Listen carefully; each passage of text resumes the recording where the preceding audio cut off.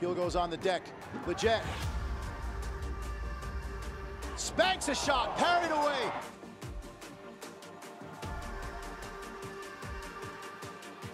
Still loose and it ricochets in. The Revs double their lead. Matt Polster. Why not?